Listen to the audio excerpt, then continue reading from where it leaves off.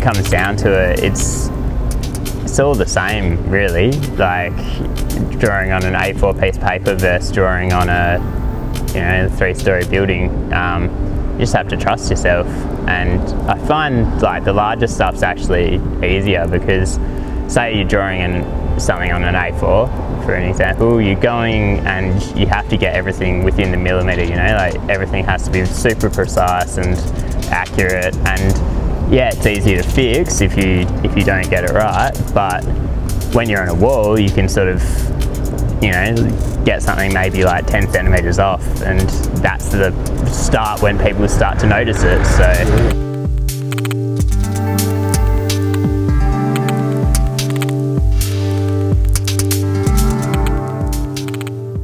at the same time, like it is pretty daunting sometimes. You're trying to get everything right and get the shapes right. And I mean, yeah, you definitely do mess up every now and then, but nobody else notices. you just got to play it, play it by ear.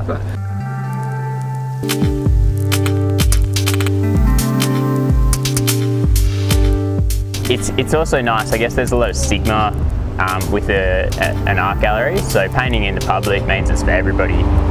Um, anybody can speak to you, anybody can have their opinion. You're not always going to get positive feedback and that's just something that you learn, but more often than not, people are really ecstatic to have something of yours left behind and you know, like it's nice to meet people when they're going to be experiencing it every day.